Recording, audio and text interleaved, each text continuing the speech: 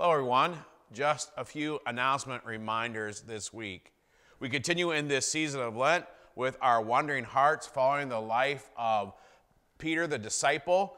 Reminder that each Wednesday, beginning at 6 o'clock, we're having a light soup supper in the fellowship hall with services of prayers around the cross beginning at 7 o'clock. That will continue up to the week of Holy Week when we'll have Monday, Thursday, and Good Friday services at 7 o'clock.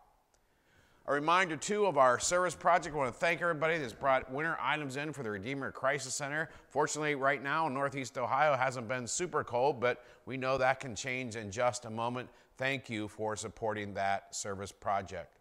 Also, on our website, under announcements, if you would like to participate in a survey that the ELCA is done with the renewed Lutheran Church, I invite you to look that up and take that question. It doesn't take very long. I did mine a couple of weeks ago. That is open to anyone. We thank all the parents for the children participating in the new Children's Church program that happens at the 1030 service at the time of the children's sermon until uh, they will bring the kids back up for the sacrament of Holy Communion in our worship services. We thank Kathy Owinski and her team for doing that. I invite you to continue to the dis, this discipline of Lent by following those weekly devotions, those daily question cards as we travel through this Lenten season. And of course, as always, take care, dear church.